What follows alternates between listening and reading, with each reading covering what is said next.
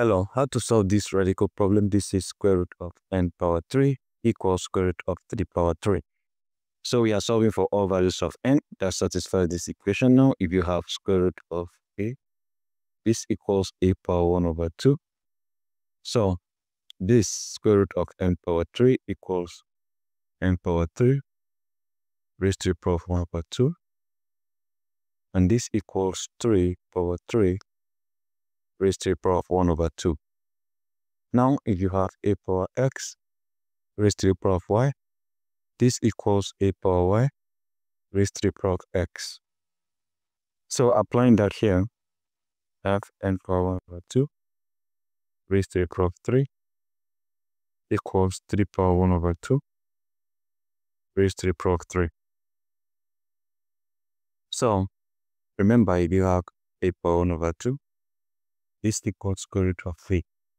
So applying that here and here,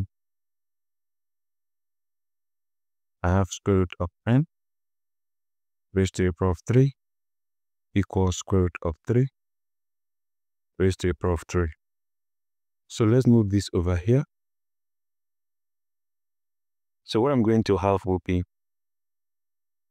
square root of n raised to the power of 3 minus square root of 3 raised to the power of 3 and this equals 0. Now if you have a power 3 minus b power 3, this equals a minus b times a squared plus ab plus b power 2. And right now, a is square root of n, b is square root of 3. Applying this right here, we have square root of n minus square root of 3. That is a minus b times a squared square root of n power 2 plus square root of n times square root of 3 plus square root of 3 power 2 and this equals 0. So from here, we have square root of n minus square root of 3 times this cancel this. I have n plus this multiplies out. We have square root of 3n plus this cancel this. I have 3 and this equals 0. So from here, I equate each of these to 0. I have square root of n minus square root of 3 equals 0.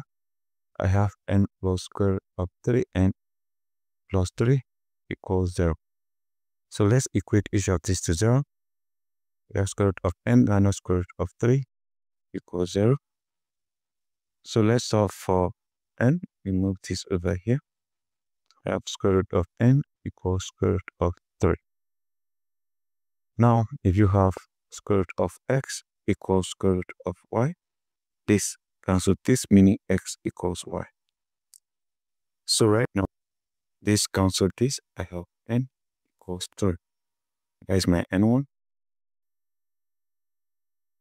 So, we also have this other one here. You have n plus square root of 3n plus 3 equals 0. And move n over here and 3 over here. So I have square root of 3n equals negative 3 minus n. So right now, I can decide to take the squares. Upper part of this equation is cancel this. Of 3n equals negative 3 minus n times negative 3 minus n. We have 3n equals negative 3 times negative 3, that is 9. Negative 3 times negative n plus 3n, this time this. We have plus 3n, this time this. We have plus n squared. So from here we have 3n equals 9 plus 6n plus n squared. So we move this over here. We have 0 equals 9 plus 6n plus n squared minus 3n. So from here, we have 0 equals 9 plus 6n minus 3n plus 3n plus n squared. So let's rearrange this. We have n squared plus 3n plus 9 equals 0. We solve this using the formula method. So we have n equals negative 3 plus or minus square root of b squared minus 4 times ac divided by 2 times a. Our a equals 1, which is the equation of n squared. b equals 3 is the equation of n, and c equals 9. So from here, we have n equals, this is negative 3 plus a minus square root of b squared 3 power 2 minus 4 times a is 1 times c that is 9 divided by 2 times 8 is 1. So from here, f n equals negative 3 plus or minus square root of 3 squared. This is 9 minus this is 36 divided by 2.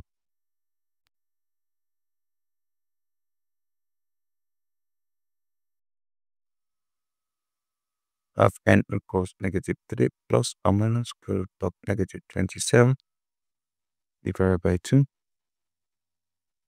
You have n equals negative 3 plus or minus base minus c square root of negative 1 times square root of 27 divided by 2. N equals negative 3 plus or minus this is i. We have i times square root of 27 is 9 times 3 divided by 2.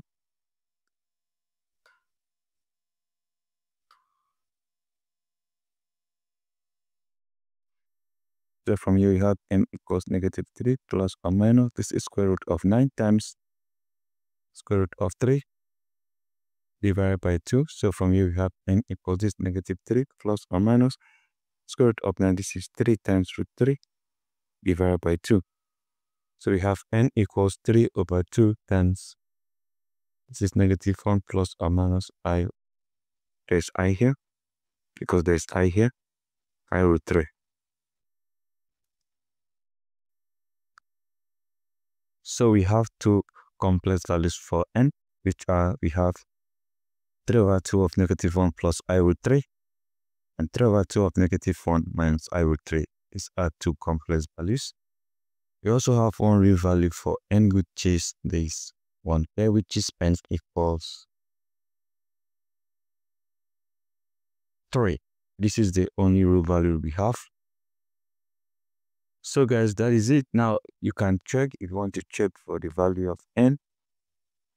You can substitute this real value for n or n equals 3. So you have square root of n power 3 equals square root of 3 power 3.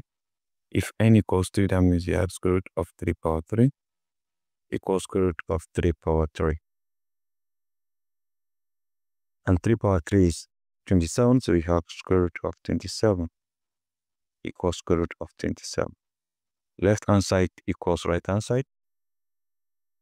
So that is it. This is how you solve this radical problem step by step.